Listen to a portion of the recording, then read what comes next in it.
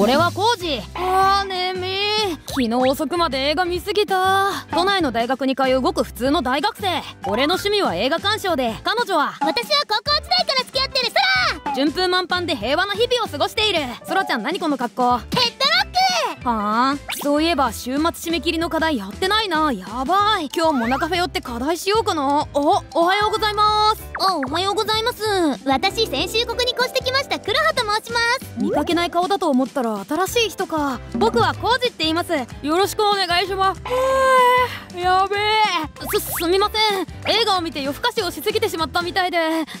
気にしないでください。コーチさんって映画お好きなんですね。私も映画好きで昨日は久しぶりにモチビリを見たくなっちゃって夜更かししちゃいました。へえモナンティーノお好きなんですね。はい。僕はモルプフィクションが好きです。えー、私も好きえー、じゃあ他に好きな監督だと？ああのコージさんよかったら LINE 交換しません？えお正直彼女の第一印象は悪くなかった。そんで話したら LINE 教えてほしいって言われたけど一応彼女いるからって断ったよ。年上かなって思ったけど同じ年で大学生みたい。えそしたら交換したらよかったじゃん。えいいの？ソラちゃん。いいよいいよ。私でわかんないこととか話せるでしょ？うんすごいねその技。映画の情報とか交換できたら楽しいんじゃない？彼女いるって言ってあるから大丈夫でしょ。あとコーし。そうだね俺だし。そっかじゃあ今度会ったら交換してみる。ソラちゃんいい女。あ当たり前よ。そうソラに言われ後日俺は黒羽と LINE を交換した。えーと黒羽さんの ID は？TQNTQN9696 しかし今思えばそれがその後始まる恐怖の幕開けであったのだ。その夜。コーチさんお疲れ様です。モネットってもうご覧になりお黒羽さんからだ。それがまだ見てないんですよ。黒羽さんは見ました？もし見てたらネタバレしない程度に感想を教えてもらえませんか？はいもちろんです。私映画館まで行ったんですけど映画自体は結構長くて。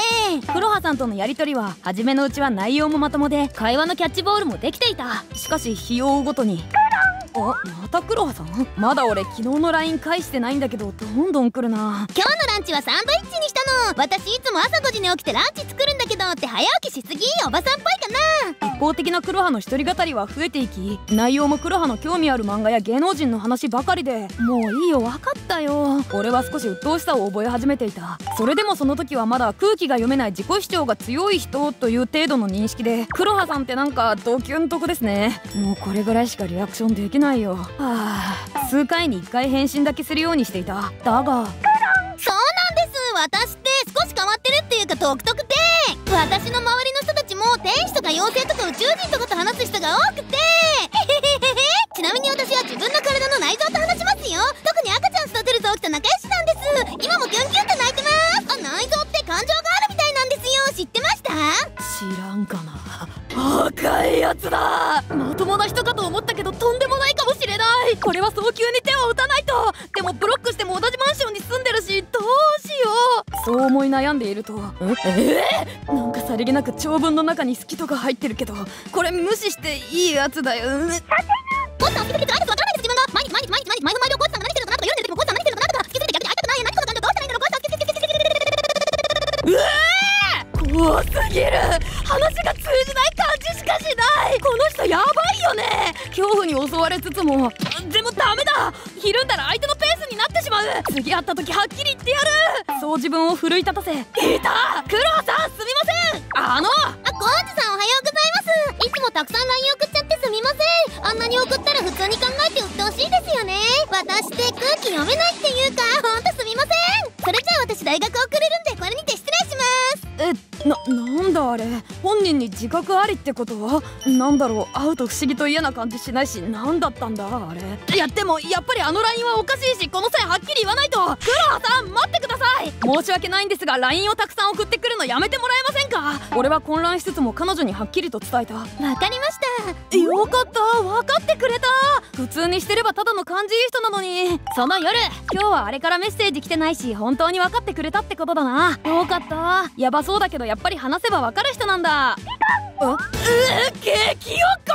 ひどいよコージさん！から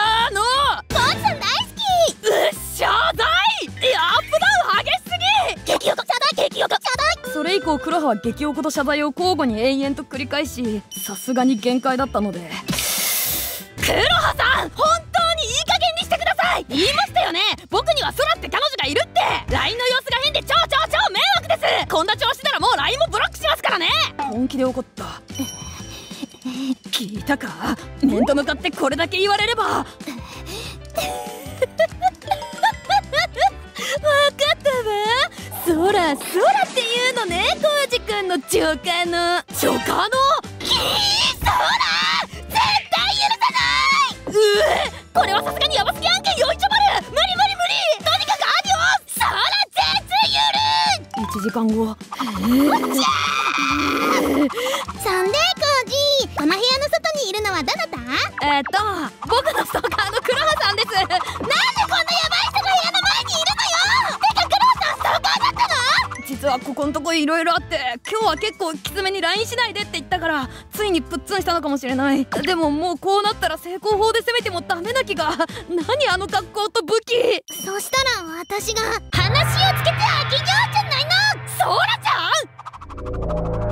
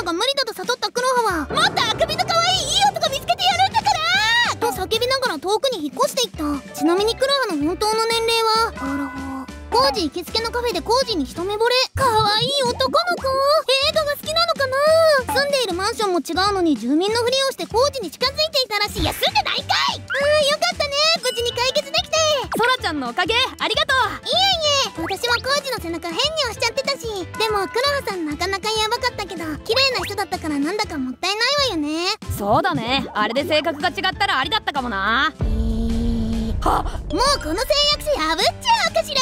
ごめんソラちゃん！それだけはやめて！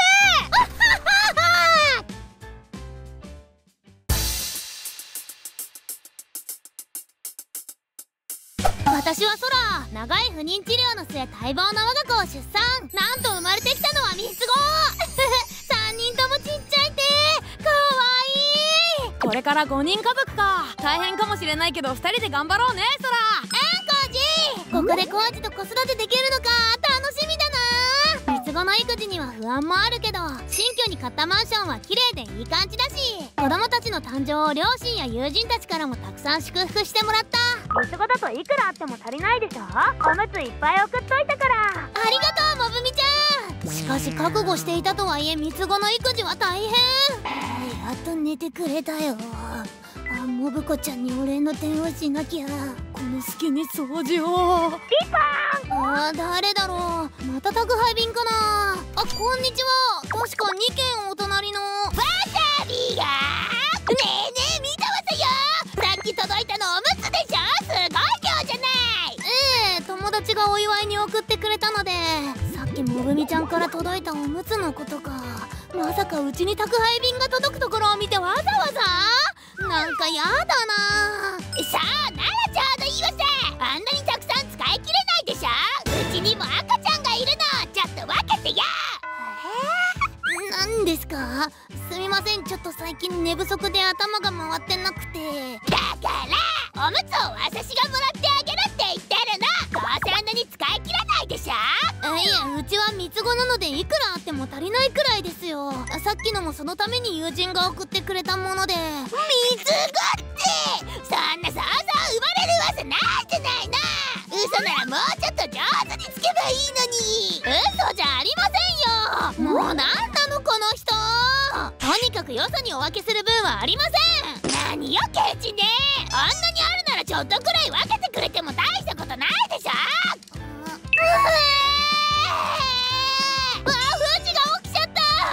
子供が泣いてるのでお引き取りください。えー、しょうがないわさね。またもらいに来るからね。空大丈夫？なんだか大きな声が聞こえたけど。うわー！一人起きたら連鎖が！せっかく寝かしつけたのに！えーあんな人が同じ階にいるのか。不安だな。それからしばらくして子供たちの検診の日。今日はいいお天気だね。みんなご機嫌だね。お出かけ気持ちいいのかな？あ空このジャミジャミボイスが例の。わさびさん三つ子って本当だったのね。高そうなベビーカー。やっぱお金持ちは違うわせ。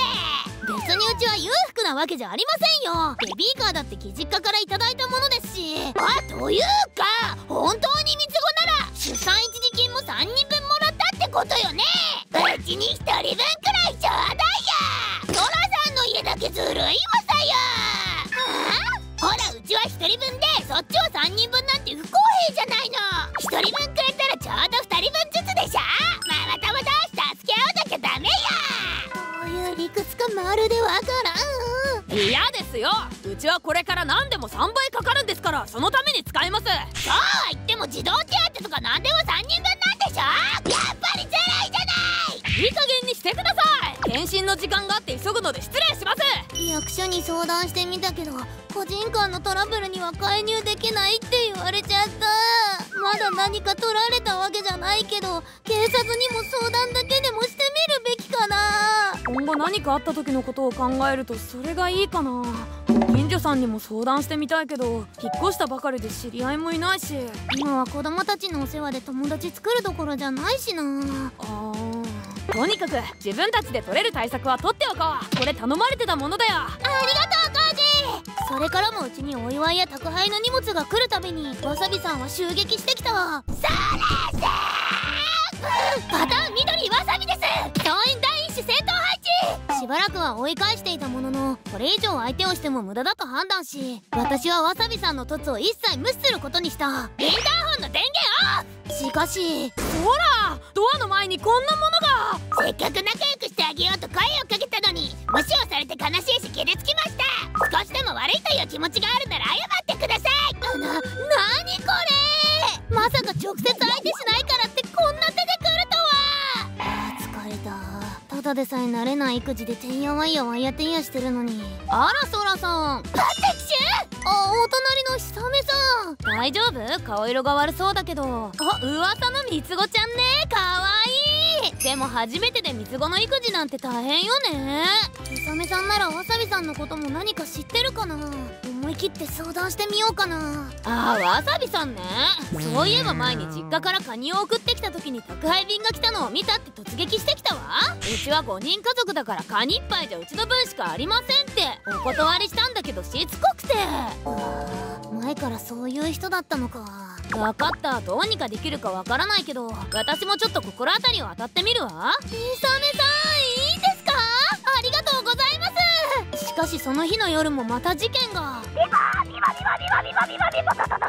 らさんでまた来た今日はコウジもいないのにおいなんでうちの妻を邪険にするんだせっかく新参者と仲良くしてやろうとしたのにさあやそのこと傷つけておいて謝りにも来ないなんて非常識やあ旦那もやばいやつだったか。妻が気にかけてやったのにおお後で返しやがって。大体あなたケチケチしすぎよ。何人も産んで得してるくせに。そんなことだから新居で友達もできないのよ。もううるさいよ子供たちが起きちゃうよ。えいこうなったらまたインターホン電源オフで。うえー。せっかく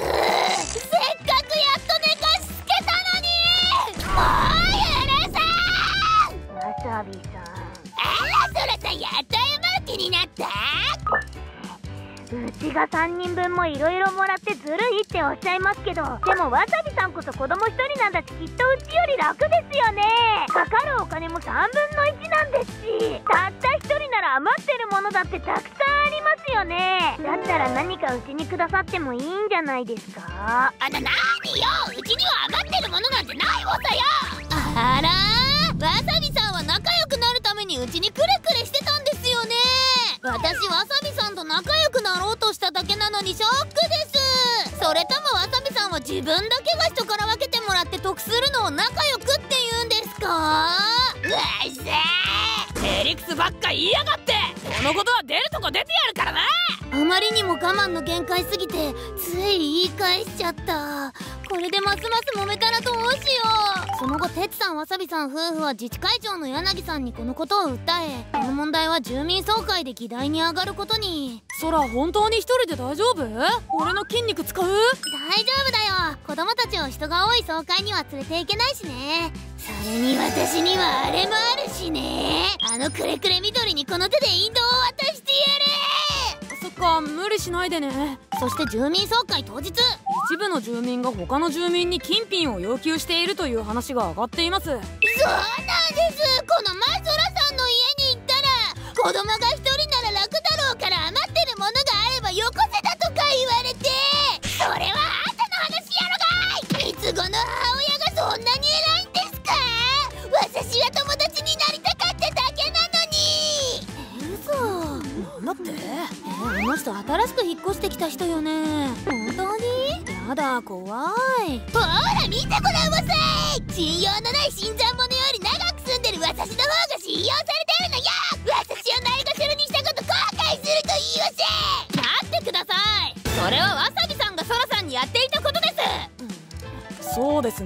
私が事前に聞いていた話とも少し食い違うようです。落ち着いてソラさんのお話も聞きましょう。何か証拠があるとか。そう久米さんの心当たりは自治会長の柳さん。この住民総会の前に私の話を通しておいてくれたのだ。はい証拠ならあります。これがわさびさんがうちに押しかけてきた時の録音です。だから三つ子なら手当も全部散財でしょちょっとくらい分けてくれてもい。いじゃない録音い。つの間によし工事にボイスレコーダー用意してもらってよかった。そういえば俺もわさびさんにセールのお菓子を買いだめしたら少し分けてって言われたな。うちまだわそろそろベビーベッドいらないでしょってしつこくて。買い物袋重そうだから持ってあげるって言われて。そのまま買ったものを持っていかれたことが。おお前そんなことしてたのか？どうやら警察に通報した方がいい事例もあるようですね。私に嫌がらせするために全員で口裏合わせてるんです。そんなわけあるか。こうしてわさびさんの被害に遭ったご家庭は一致団結。自治会長さんのお知り合いの弁護士を介して賠償を申し入れられたりわさびさんはかなり大変だったみたい。土地から取っていってトイレットペーパー。みかん木田さこうして悪評が広まったわさびさん哲さん夫婦はマンションを退去していった。助け合ってコミュニケーションでしょ私は仲良くしたかっただけなのに。まだ言ってんのかよ。いい加減にしろ。俺まで恥かいたじゃねえか。お前にはおむつよりおつぶが必要だよ。イサメさんいらっしゃい。ソラさんこんにちは。大変だったわねも迷惑してたしそれにこの子が生まれたら三つ子ちゃんと同級生になるしね。仲良くしてあげてね。ママ友もできたしこれからの子育てライフ楽しくなりそう。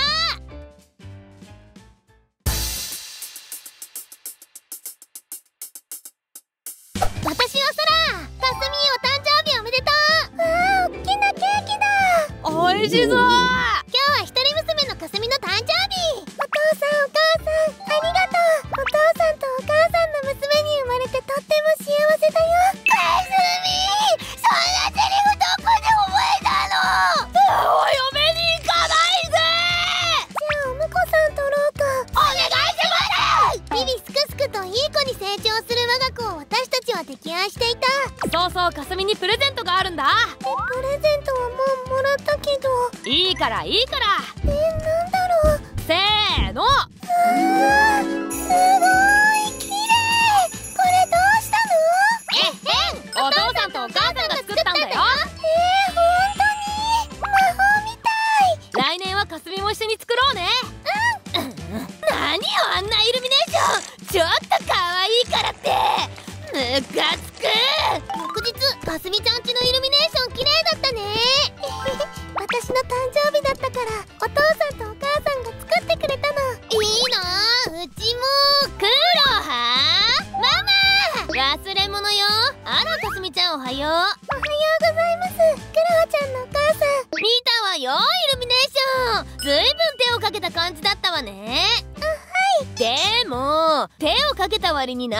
しょぼかったわね。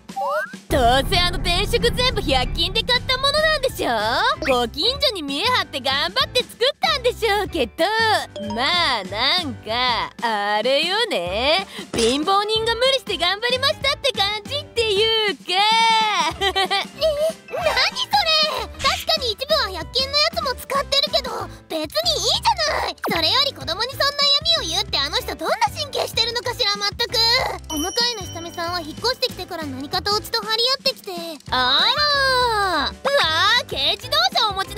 いわね。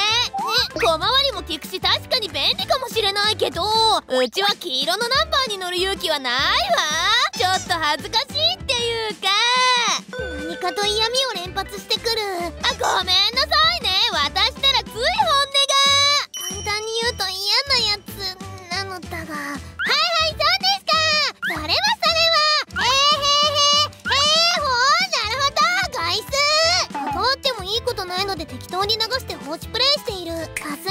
そういう時は頭の中で楽しいことだけ考えてただ黙ってニコニコしてればいいからね。分かった。カウそうそうもっと握りしめて。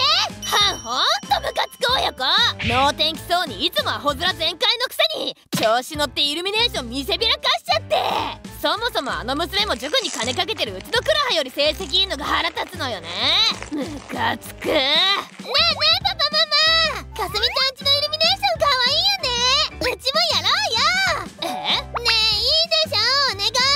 はあ？あんなしょぼいイルミネーションのどこがいいのよ。ねえママまったくあいつらのせいでめんどくさいったらありゃしない。いや待ってここはあのアホ面親子をギャフンと言わせるチャンスそうね。うちもイルミネーション作ってみましょうか。えほんと。やったー。ねえパパ。クロハもこう言ってることだしうちもやってみな。いイルミネーションかちょっと面倒だけど黒羽がそこまで言うならやってみるか。やったー。これいいじゃない。あこれも買おう言わせてやるわよ。翌週すっかり暗くなっちゃったね。帰ったら急いでお夕飯作らなきゃ。お父さんお母さん。あれ見て。クラハちゃんち。んわーイルミネーション。結構派手だな。ひさめさんちもイルミネーション作ったんだ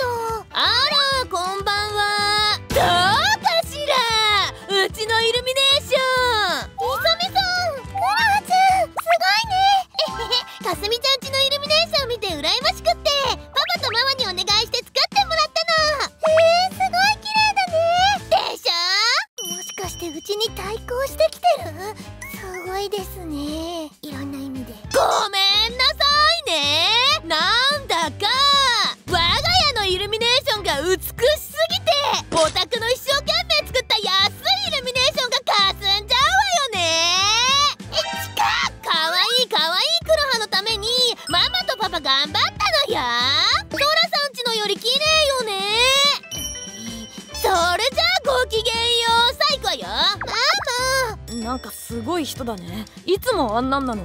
そうなんざます。クラハちゃんちのも綺麗だけど私はうちのイルミネーションの方が好きだよ。かすみちゃん！そしてその日を境にひさめ家のイルミネーションはエスカレートしていき。何あれ？まるでパチンコ屋じゃん。というかオープンって何？さあ。その結果。全然寝れない。眩しすぎるよ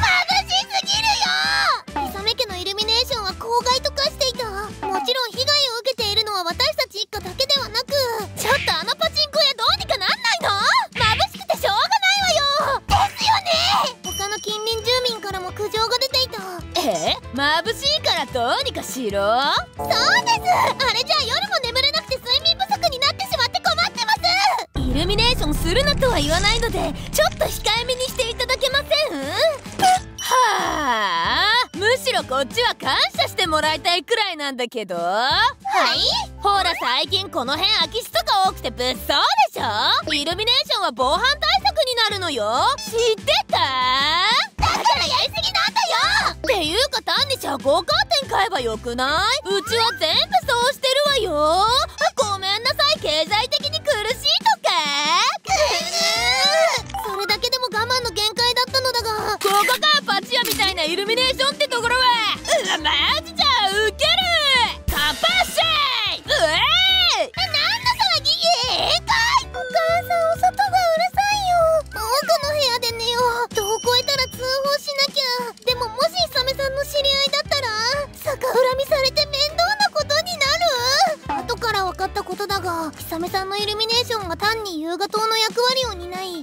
引きつけていただけだった。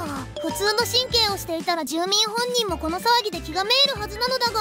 ほらやっぱり。うちのイルミネーションが最高だからこんなにも人が集まってくるのよ。おーすごいな。恐るべし同級力。耳栓つけて寝れば気にならないしね。さすが人ね頭いいな。でしょ？2回ほど続いたある日。覚悟は決まった。今夜騒いだら決戦よ。速攻通報してやる。ギョイうん？うんえどうしたのソラちゃん？えー、イサメさんちから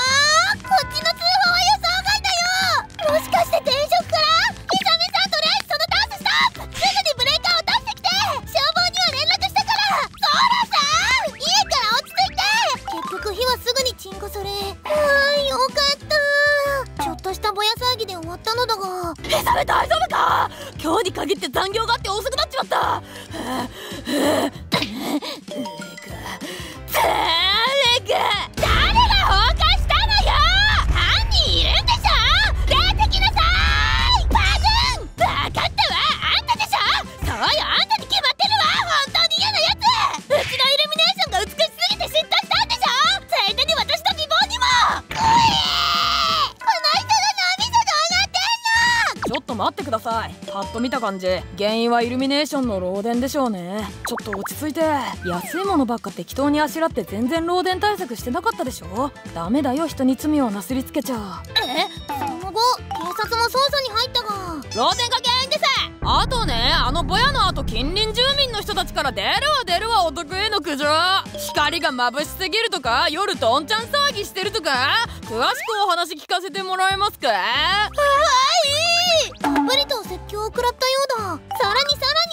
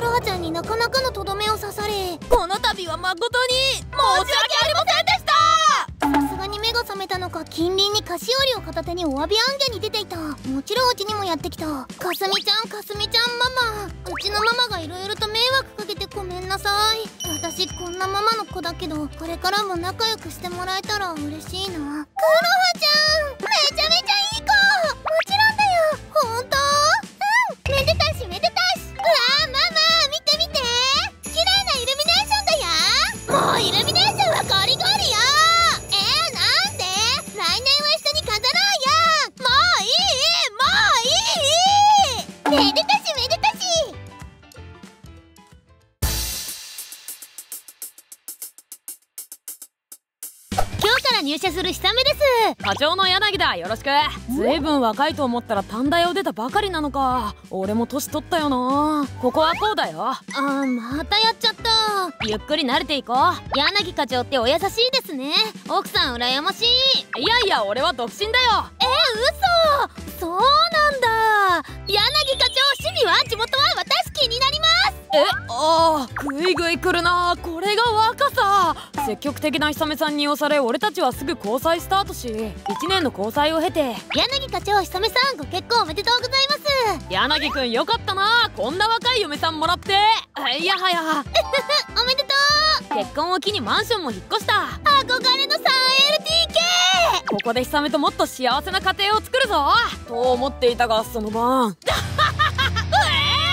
なんだ？お隣。何時だと思ってんのよ。隣ずいぶん若い人だったんだな。柳注意してきてよ。引っ越しの挨拶の前に注意なんて。今デッドワード打ったって。すいません。んだよ。隣に越してきたものです。静かにしてもらえないでしょうか。ああそうっすか。でもうちはこれがデフォなんで。じゃあ。えおい。何よそれ。ちゃんと注意したの？何度呼び鈴鳴らしても無視だよ。なんなのもう俺もそうしよう。翌朝。ああやっと静かにになった。朝5時まで騒がれるとは。柳さん顔色悪いですよ。引っ越し大変だったんですか？いや引っ越しの後が大変で。帰宅後。全然仕事になんなかったわ。私もう寝る。なんか出前取っといて。うんそうしな。ああもうまた？もしかしていつもこうなのか？本当にあれがデフォか？翌日休みを利用して他の部屋に挨拶がてら話を聞くことに。202号室でしょ。私たちも困ってます。あ私は空私はくるみそそのようですね。注意しても効かないし格闘技がどうこう言って脅してくるしマジでクソダサいし迷惑してます。俺のキックの威力知らねえの？え管理会社は？何度か注意はしてくれたんですけど住人同士のトラブルには介入しないって。退去に応じるようなやつじゃないし3回も警察呼ばれてるんですよ。3回？警察が来た後は一瞬静かになってその後は元通りで全然意味ないです。最悪だ。にしてもあの人結構若かったけどこんなマンションによく住めるな。家が結構いいとこらしいですよ。俺は家賃払ってねえんだとか自慢してました。想像以上にヤバそうな相手だな。その晩もまたそう。うっさいっつってんのよ。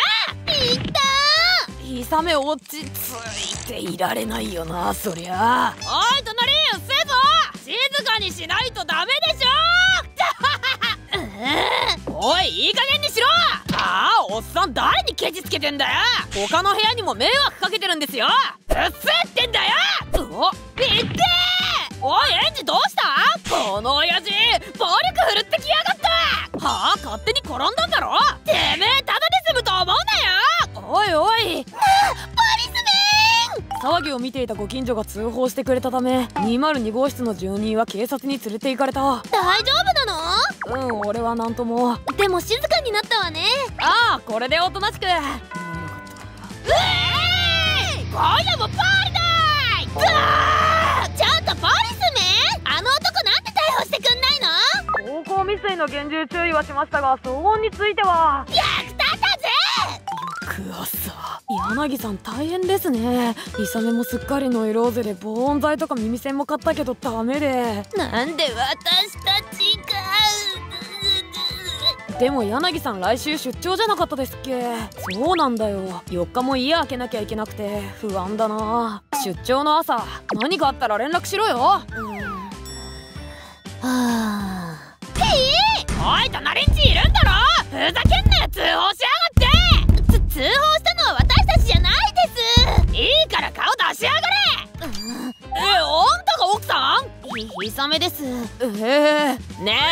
傷あんたの旦那とやり合った時の傷なんだけどあーいてーいてー治療してもらわないと。わかったわよ上がって。マジ？いいの？旦那は？今日から3日間出張でいないわよ。はあ？あなた元気なのはいいけど少し静かにしてくれないと。なあんた俺と同い年くらいじゃない？もったいねえよ。何がよ？こんなに若くて美人なのにあんなおっさんと結婚してさ。別にいいのよ。給料いいし上司だから何かと都合いいし。なあ俺と楽しもうぜ。我慢しててもつまんないだろ。ふざけないで。出張先イサメからだ。柳が出張の間実家に帰ります。そっかその方がいいな。安心して出張の用事を済ませて2日後。えコウジ君が入院？専務が柳さんに出張を切り上げて戻るようにと。わかった。夕方には戻ります。その晩なんとか穴埋め終わった。もう夜中だ。イサメには早く帰ったこと明日の朝連絡して今日は早く寝よう。うえーい！うわーわーい！わーい！わーい！パワ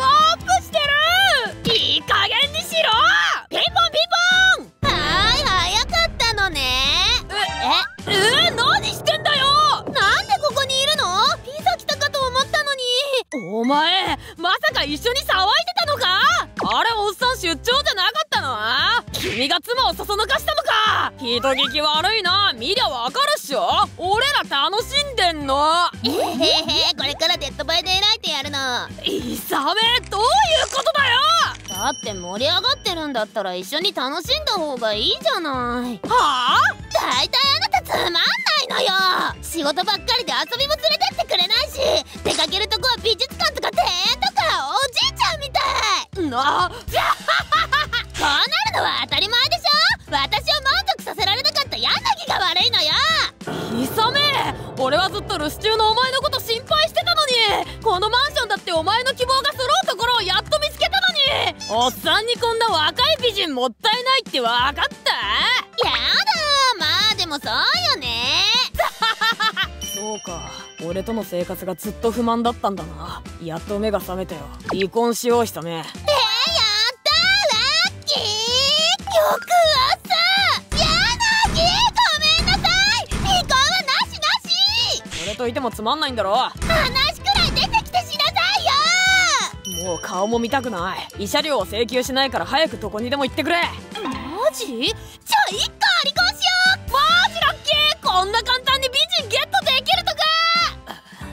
おっさんといるより楽しいリサメちゃん最高この雰囲気を楽しめない他のやつらもアホよアホえったらいったれうるさいあーんときゅん怖いよよしよしういがお母さん大丈夫リサメちゃん離婚おめあのおっさん浮気されたのに慰謝料も取れないんだぜダサいわよねあの人柳さんの奥さん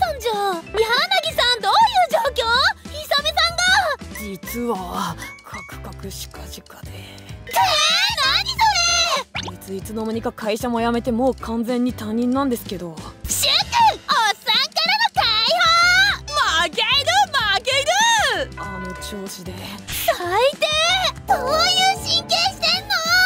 最近こっちまで騒音が聞こえるようになって子供が怖がって105号室もお母さんが胃潰瘍で入院したらしいわ。受験勉強どころじゃないよ。なんなのあいつらマジで！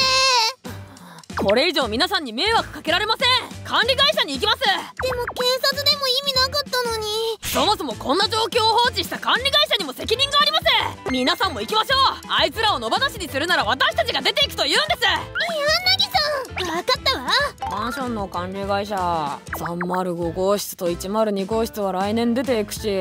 次の外壁工事は予算ギリギリだ。くっそあのマンション全然儲からねえな。あーなんだ？うわー！お前か管理人は人なんとかしてよなんとかしてよえー、おお落ち着いてはあなんでもっと早くこの楽しさに気づかなかったんだろう我慢してバカみたいあーなんだまたあのおっさんかしつこい男ね何よまだ文句あんうわー何怖け警察なんか何度来ても無駄だぞ俺にはここに住み続ける権利があんのいえあんたには出て行ってもらいますええ管理会社のおっさん。あんたの苦情処理で仕事にならん。俺が出て行ったら家賃収入減るんだぞ。お前なんか出て行ってもらった方がプラスだ。今月末まで猶予をやる。それまでに出て行ってくれ。なあ。この間も注意を受けていたよね。今度騒ぎを起こしたら次はありませんよ。警察騒音10人園児とサメはマンションを去っていった。連日の騒音や迷惑行為により体調を崩した住人もおり。なんで騒音で慰謝料払わなきゃいけねえんだよ！そのくらい実家に頼んで払ってよ！あんたは金持ちじゃないの？マンション追い払われたのバレたせいで感動されたんだよ！はあ？ふざけないでよ！それだけがあんたの取り柄だったのに！お前のせいでもあるんだぞ！すごいことばっか言っておいて！なんだよ！何よ！うるさい他の部屋の人よ。だろ舐められてたまるか。なんだ新キャラ。壁薄いんだから静かにしないとダメでしょああのあのすみませんでした。今度騒いだら温厚な私も黙っていませんよ。はい絶対しません。静かにお年寄りも住んでるんですよ。はい。今彼らは友達も呼べない狭い部屋で静かに生活しているそうだ。ピーマキュンしあの男が来るだろうが。ごめんなキュキュそして俺は静かで平和の独身生活を満喫しているこんなに静かな夜はいつ以来だろう今度の休み久しぶりに美術館でも行くか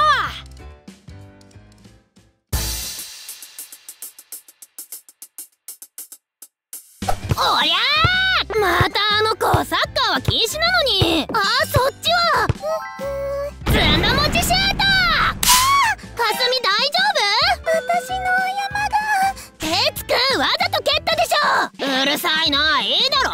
かすみに謝りなさい。やだよ。壊したのは俺じゃなくてボール。蹴ったのは君だよね。つどうしたの？母さん。黒羽さん。哲くんを注意してください。ずんだ餅シュート決まったんだぜ。まあすごいわね。娘の手元に向かって蹴ったんですよ。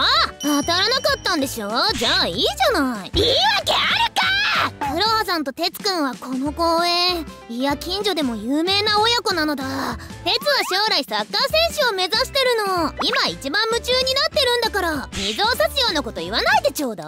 この公園はサッカー禁止なんです。うちの教育方針では子供の自主性を尊重してるの。ソラさんみたいに何でも指定する親だと娘さんもかわいそうね。なんですって。隠れてやんのダッサほら自分のも言えない子になっちゃって。娘にまでよくも。黒羽さんいい加減にしなさいよ。悪いのはあなたでしょ。みんな見てたのよ。ああいやだ行くわよ鉄。はーいたくどっか引っ越してくんないかしら。帰ろうかかすみ。数日後。うわガー痛えへへこんでない。傷もない。よかった。よいしょっと。こらおばさんに当たりそうになって車にもぶつけたんだよ。傷ついてないならいいだろ。あの母親みたいなこと言って。クロハさんボールポンポンカッカカシカシカ。子供のやったことにそんなに怒るなんてどうかしてるわ。どうかしてるのはたたちだよ！その晩困った親子だな。旦那さんは知ってるのかな？残業と出張でほとんど家にいないっぽい。早めに伝えた方がいいかもな。そうだね。そうだねなんだ？ボールの音？公園の方からだ。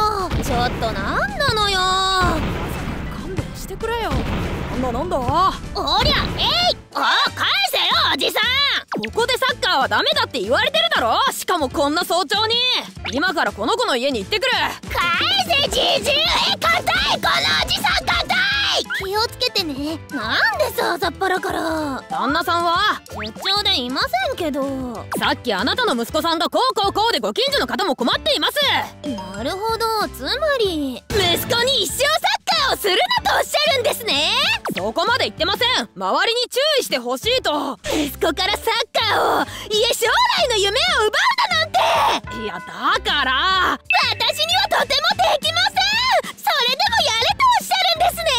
母親に息子の夢を奪うと。なんてなんてなんかミュージカル始まって話にならなかった？朝からお疲れ。ハイプロテイン。いやシュート行ってくる黒羽親子の悪行は公園だけでなく近所でも問題に。昨日あの子がうちを覗いてたのよ。夏までにくびれ。夏までに水。いやーそこで何してんのよ。ペうちの旦那が休職中ってことどこかで聞いたみたいで。おじさん仕事ないの？クビになったの？なんで？やめて！すっかりしょげちゃって家の空気最悪よ。うちの植木むしってたのよ？犬のリード外されそうになって。家の前で石投げてたの危ないわ。どんどんひどくなってる。あの母親何言っても謝らないのよ。警察訴えてやろうかしら。あーその晩 なんだ黒羽さんあらいらっしゃい酔ってる哲くんをこんな時間に連れ出して何してるんですかだって哲が外に行きたいって言うから夜中に大騒ぎして迷惑ですよもちもちいれば進め目指せ月見崎あんたもどう結構です哲くん夜中にお歌はやめようね母さんがいいって言ってんのなんて非常識な。旦那は何してるんだ？うっさいな気分台無し？帰るわよ鉄はーい。あー次の日曜日。黒羽さん旦那さんご在宅ですよね。お二人に話があります。いやよなんでうちの人まで？まさかあんたうちの旦那誘惑する気？ふざけないで。ここ最近のあなたと哲くんの行動目に余ります。おお怖い怖い。そんなに怒ってばっかりだとその血は消えなくなって基本ビジュアルになるわよ。あのね近所の人もみんな迷惑してて。うっさいわね。嫌ならあんたらが引っ越せばいいでしょ。迷惑かけてる人のためになんで私たちが引っ越さないといけないんです。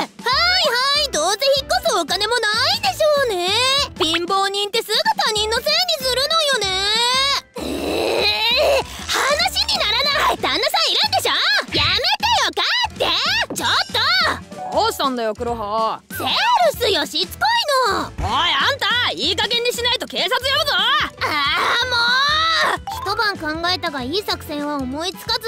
どうしたらいいのかなあの一家。旦那さんに電話は？かけだけど切られた。何？だあ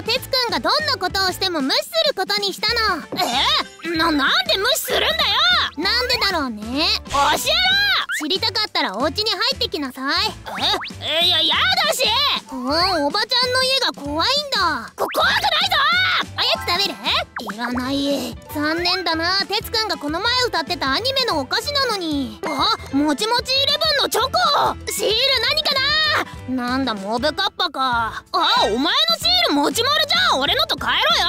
いいよ。え？くんにあげる。いいいの？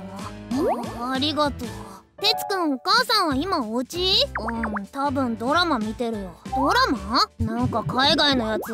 俺は全然好きじゃない。家ではずっとドラマしか見てないからつまんない。俺が何か言ってもあらそうなの素敵ねよかったねてつは偉いねしか言わない。いたずらして大人の気を引いてたのか。ねえてつくん今何して遊びたい？サッカー。でもサッカーしたら怒るんでしょ？人に迷惑かけなければ怒らないよ。一緒にやる人いないから壁当てしかできない。じゃあおじさんとやろうか。この公園ならサッカーしてもいいぞ。すげえ待ててつくん頑張れ帰宅すると。てつくん寝てる。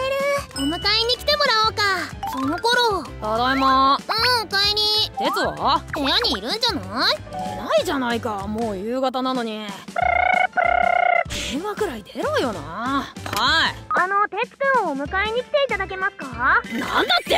あんたの家に鉄が？どういうことです？遊びに行ったこと知らなかった？ドラマにハマりすぎだだだだだって。ろとにかく迎えに行ってくるから。父到着。鉄。父さん遊んでもらってたのか？うんめっちゃ楽しかった。かすみのおじさんすごいんだよ。あのこないだはセールス扱いしてすみません。誤解が解けてよかったです。鉄のあんな嬉しそうな顔初めて見た気がします。子供のことは全部妻に任せきりで仕事が忙しくて妻と話す時間も減っていって。あじゃあ最近のことはご存知ない？カクカクしかじか。聞いてませんそんなことでしょうね。お他にはどんなこと？こんなこととかこんなことも。そんな妻は鉄にはのびのび遊ばせてるって。迷惑かけても注意しないのはのびのびとは違いますよね。あはい本当にすみません。すぐ妻を連れてきます。黒羽さんはその後迷惑をかけた家に謝罪して回った。頭を下げる。これは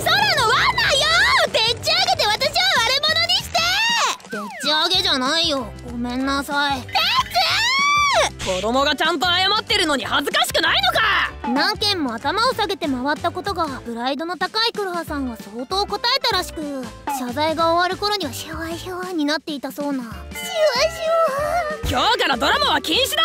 鉄に起きたことは毎日必ず俺に報告しろ！あ許して！こうして近所には平和が訪れた。そして日曜日。おーい！てつくんたち今日はよろしくお願いします。はい優しく蹴るから大丈夫だよ。うん鉄分父さんちゃんと蹴ってよ。ちょっと待って息が。だらしないな